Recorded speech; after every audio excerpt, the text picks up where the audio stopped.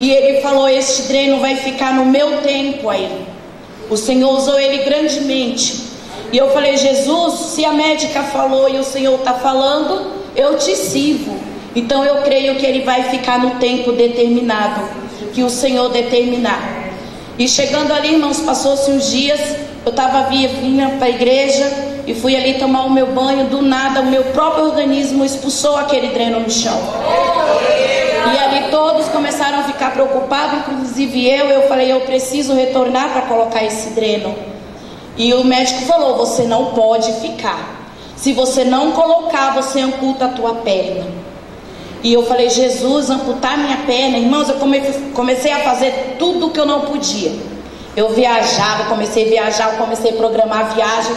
Eu falei, eu vou fazer tudo enquanto eu tenho perna. Porque quando haver amputação, irmãos, tudo fica difícil. Vocês imaginam perder um dedo é difícil e perder um membro. Né? E eu falei, Jesus, seja feita a tua vontade. E os adolescentes hoje louvou esse hino quando Deus usou um irmão na igreja e falou que ele ia fazer uma grande obra na minha vida. E ao passar do tempo eu vi o irmão Emerson pregou sobre cura uma quarta-feira aqui. E eu vim sem o dreno. Mas só que no domingo eu tinha vindo, caiu o dreno e eu vim para a igreja. E acho que o pastor relembra as pessoas, eu vim aqui pedir oração por mim. Quando o pastor falou, quem tiver enfermo, venha. E eu falei, pastor, ora porque na hora eu falei assim, eu tenho que fazer um novo procedimento, que era retornar ao hospital para colocar aquele dreno. E eu vim, o pastor orou, mas na quarta-feira eu vim para o culto. E o irmão Emerson pregou sobre cura, irmãos. E eu estava assim no desespero, porque o médico que faz isso, ele não é um médico normal. É um médico que o, o convênio ele tem que contratar, para dispensar, para pagar, tem todo um processo. Isso vai de 15 a 20 dias. E eu só sei que eu fiquei e vim. Quando eu cheguei aqui, o irmão Emerson falou: quem precisar de cura, venha buscar ao Senhor. Então é nesse momento, irmãos, que a gente busca Jesus de verdade. E eu falei para o Senhor: eu creio no Deus que eu sirvo. E eu vim até aqui, irmão Manuel desceu para me ungir. E quando ele desceu para me ungir, irmãos, ele ungiu todo mundo. Mas teve um grande detalhe que me chamou a atenção. Ele pegou e naquele momento que ele orava e que ele me ungia, irmãos, parecia que era uma coisa queimando o meu corpo.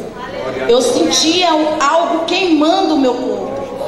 E ele fazia uma atração na minha mente ele falava: "Tô repreendendo a enfermidade nesta hora". E passou-se o tempo, eu fui para casa, Deu as melhoras da dores, muda o tempo, eu sinto dor no quadril, eu sinto dor na perna. E aí eu liguei para o convênio e falei, vocês têm que liberar, porque eu preciso pôr o dreno, porque eu sinto as dores. Irmão, quarta, quarta-feira passada agora, o convênio liberou e me comunicou para me estar indo ali ao hospital para estar tá colocando dreno novamente. Irmãos, eu fiquei das 9 horas da manhã até 18 horas com fome.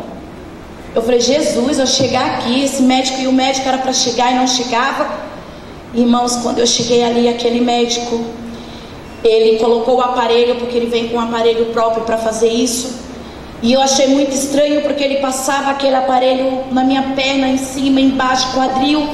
E eu comecei a ficar preocupada, porque a reação do médico não era que ele tinha sempre. Porque ele já colocava e falava, passa o dreno, e os enfermeiros já auxiliavam, ele já fazia o procedimento.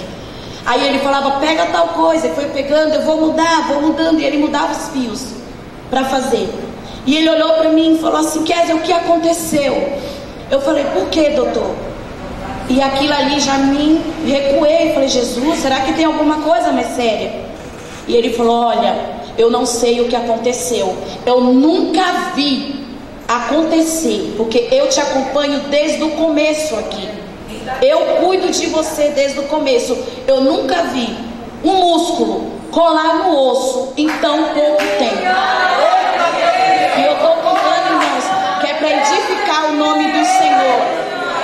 Nós às vezes temos que esperar com paciência no Senhor, porque quando Ele tem promessas, Ele cumpre nossas vidas.